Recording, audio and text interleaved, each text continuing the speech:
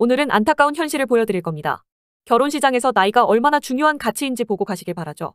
블라인드의 35살 여성이 나이 들으면 소개팅하기 부담스럽제 라는 글을 올립니다. 일집 일집만 반복하다 보니 어느샌가 나이를 이렇게 먹어버렸네.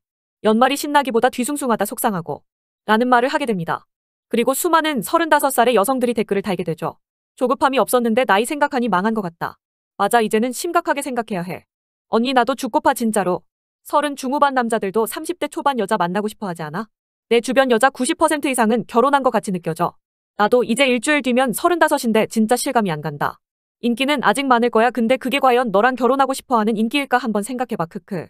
라는 댓글이 달리며 현실 직시하는 사람들이 늘어나기 시작합니다.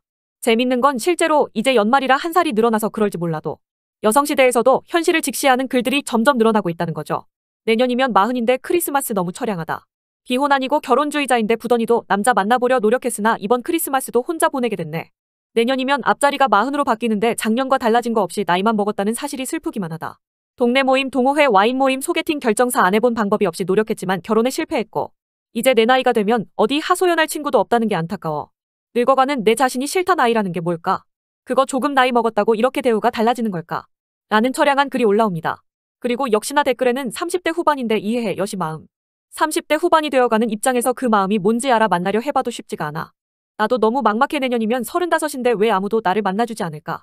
서른 후반 오니까 맘 편하게 이야기할 친구도 없어지더라 나도 크리스마스 날 친구들 남친이랑 연애하는 거 방해될까봐 말도 못 걸겠음. 이라는 여성시대 회원들의 반응이 보이시나요? 연말이 찾아오면 한 살을 더 먹는다는 부담감이 조급함을 만들어냅니다. 그리고 그런 조급함은 마음속에 감추고 있던 진실을 드러내기 마련이죠. 물론 정신 못 차리고 43세 연하 남친 만나서 행복해 죽을라 하는 차장님도 있으니 걱정하지 마. 우리 과장님은 42인데 약사 연하남 만났다더라. 40살 됐다고 여시 인생 끝난 거 아니야. 남자들은 능력 있는 여자 무서워해서 나이 중요하다 말하는 거야. 양남 만나거나 진짜 능력 있는 남자 만나봐 능력남은 오히려 나이 있는 여자 선호해. 라는 와인론을 펼치고 있는 모습도 보실 수가 있죠. 같은 떡국을 먹어도 여자와 남자는 수저의 무게감이 다릅니다. 남성에게 가장 커다란 매력 어필은 능력이고 능력이라는 매력은 나이를 먹을수록 커지기 마련이죠. 이 시기가 되면 마음속 깊이 감추고 있던 진실이 드러나게 됩니다. 한 살을 더 먹게 되면 앞자리가 3에서 4로 바뀌거나 앞자리가 2에서 3으로 바뀌는 그 기로에 서 있는 여자라면 더더욱 무겁게 느끼기 마련이죠. 여자는 와인이다 와인이다 아무리 고래고래 소리를 질러도 자신도 그게 진실이 아니라는 걸 알고 있기 때문에 하나도 어필이 되지 않는 겁니다. 여전히 인기는 많을 겁니다. 하지만 그 인기는 결혼을 하고 싶어하는 플러팅이 아닌 다른 목적의 플러팅이겠죠. 마음이 급하면 조건을 낮춰서 결혼하면 될 테지만 백마탄 왕자님은 포기 못해서 아무나랑은 할 수 없다는 저 자존심.